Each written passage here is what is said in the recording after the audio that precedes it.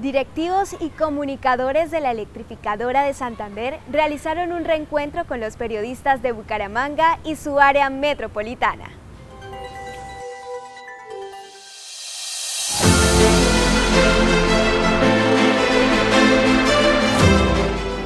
Los medios de comunicación son un grupo de interés fundamental porque eh, nos permiten difundir aquellas cosas que ha venido trabajando la electrificadora de Santander, su plan de inversiones, la mejora en la calidad del servicio, el aumento de cobertura en las zonas rurales, eh, los diferentes productos y servicios que tenemos eh, a disposición de los usuarios que sin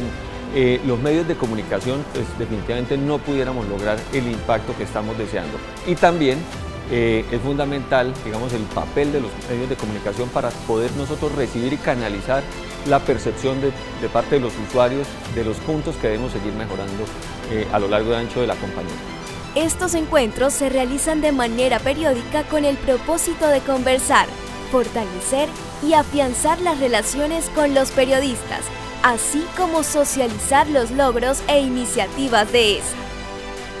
Hemos hecho encuentros a lo largo de este segundo semestre en Barranca Bermeja, en Barbosa, en Socorro, en San Gil y cerramos con un encuentro muy especial con los periodistas eh, del área metropolitana de Bucaramanga. Es un espacio para, digamos que afianzar esos lazos de relacionamiento que tenemos con los periodistas.